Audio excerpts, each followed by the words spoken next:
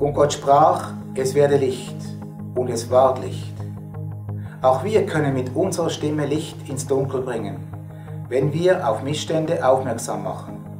Korruption ist einer der Gründe, warum arme Menschen arm bleiben, und das in Ländern mit enormen Bodenschätzen. Die Schweiz ist eine der größten Drehscheiben für den internationalen Rohstoffhandel, bekannt für seine intransparenten Geschäfte. Darum haben wir eine Mitverantwortung hinzuschauen und Licht ins Dunkel zu bringen. Stopp Armut ist eine Kampagne der Schweizerischen Evangelischen Allianz und klärt auf über die weltweite Armut. Sie ruft Christen aller Konfessionen dazu auf, ihre Stimme gegen jede Form von Ungerechtigkeit zu erheben. Helfen Sie uns, Licht in eine korrupte Welt zu bringen.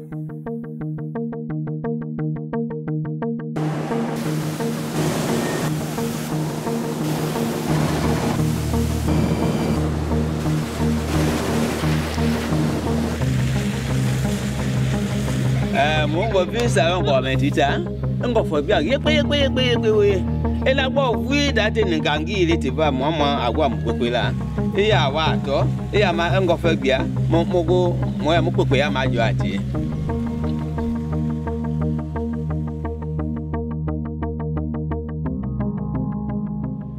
We now share a planet with over 7 billion people. Approximately 50% of these live in countries with an abundance of natural resources oil, gas, and many minerals. But these are also some of the poorest countries in the world. Sierra Leone is a small country, fewer than 6 million people live here. Now, just above Bonga village is a quarry which mines all day and night for bauxite, a mineral used in aluminium processing. The scars on the landscape are clear to see. This was once virgin forest and fertile farmland belonging to the village.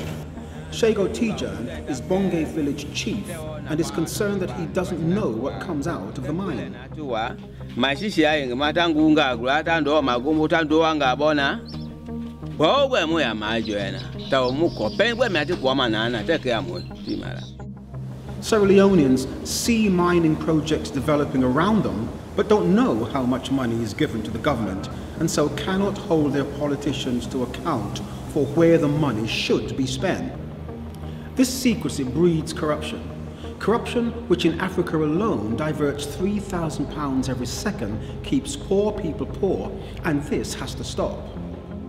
Bible is clear. God has a low threshold on corruption and what the Old Testament calls dishonest scales. Corruption thrives in the secrecy of our unpublished transactions. In Sierra Leone, as in other developing countries, the church is starting to speak out. On record, we have over 27 minerals, mineral deposits in this country. We have diamond, we have gold, bauxite, zircon, rutile, we have iron ore, we have oil, we have all of these things.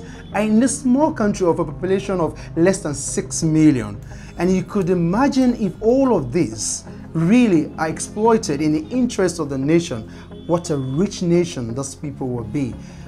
The effects of corruption are not only felt in the rural areas, but also in the capital, Freetown, where hotelier Isatu Thorlu Bangora runs a small guest house and restaurant. Uh, the country is very, very rich. It's one of the richest countries in the world. And I feel very embarrassed and annoyed that um, donors should come in to start feeding us. We have everything. In fact, we should have got to the point where we should be feeding other countries. Former UN Secretary General Kofi Annan said that corruption is a key element in economic underperformance and a major obstacle to poverty alleviation and development. If the payments by international companies to national and regional governments were made public, the church and wider society in countries like Sierra Leone could start to hold their leaders to account. As the church, followers of Jesus, we should pray, but we should do more. We should cry out to our leaders that the light of justice would shine on corruption.